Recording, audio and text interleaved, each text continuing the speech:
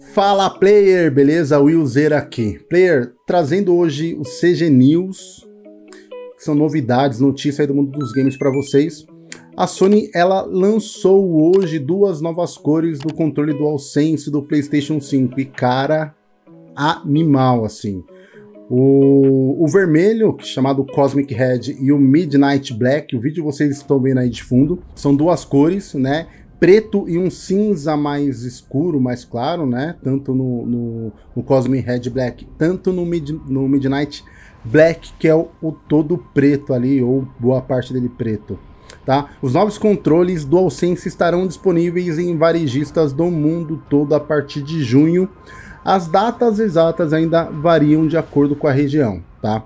Os valores que serão vendidos os controles serão: o vermelho sairá por 75 dólares e o preto por 70 dólares. Para vocês terem uma ideia, não vai ter uma diferença tão grande de preço, porque nos Estados Unidos hoje o valor é em média do branco, tá? É em média de 68 dólares, tá?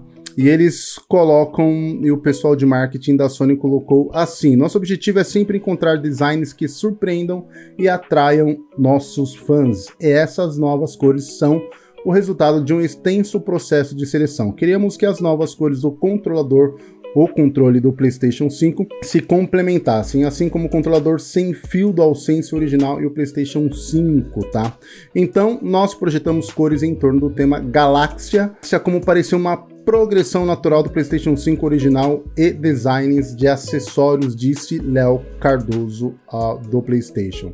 Cara, eu achei fantástico os dois controles, o preto sem dúvida alguma, o outro tem uma meio que é meio meio magenta, não sei. E o melhor de tudo é que esses controles praticamente, pelo menos lá fora, virão com terão o mesmo valor, tá? Outro ponto importante player é que esses controles, eles são idênticos ao controle do PlayStation 5, tá? Então, assim, se você pensa que a Sony evoluiu alguma coisa com relação ao, a muitos problemas de drift que vem dando, né? Que é o controle ali, o analógico puxando para o lado, não vai ter.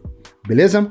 Então a próxima notícia aqui, player, é... a Sony continua com a ação Play at Home, foi uma ação que ela está fazendo desde o ano passado, ela fez no começo desse ano liberando grandes jogos aí, e inclusive um dos jogos que eles liberaram foi o Horizon, né, Horizon Zero Dawn.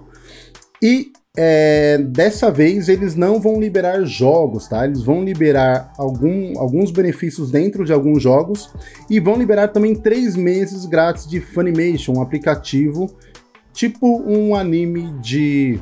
É, tipo um Netflix de anime, para vocês terem uma ideia. E cara, é bem legal, tá?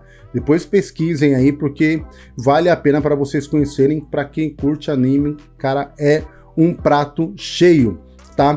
E sobre os benefícios, moedas que eles darão para ah, alguns jogos, os jogos na lista são Rocket League, Brawlhalla, Destruction All Stars, MLB, que é o jogo de beisebol, NBA 2K21, o Rogue Company, World of Tanks, World of Warships, Warframe e Call of Duty Warzone, tá? Todos, com exceção do Warzone, os benefícios ali, eu vou colocar o link aqui na descrição para vocês terem uma ideia do que será liberado de benefício para cada jogo, mas será a partir do dia 17 de maio para todos os jogos, com exceção do Warzone, que vai estar disponível ali em torno do dia 20, meados do dia 20 de maio, beleza? A próxima notícia, player, a EA divulgou sem querer praticamente mais ou menos quando que vai ser lançado o próximo jogo, né, o, o Battlefield 6.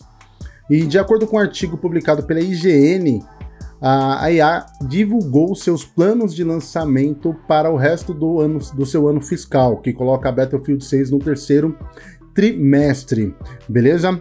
No entanto, a empresa não revelou formalmente o título do jogo Battlefield 6. O seu anúncio formal foi recentemente divulgado em uma página oficial do Battlefield no Twitter, tá? Definindo a revelação para junho de 2021. Então a gente vai saber da data certa para junho de 2021.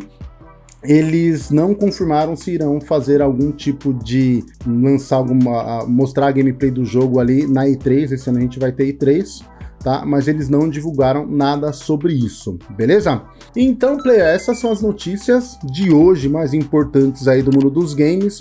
Se você é novo por aqui, não se esqueça de se inscrever, ative o sininho, beleza? Coloque nos comentários aí o que, que você achou. Eu sou o Will, vou ficando por aqui, fique com Deus, valeu e fui!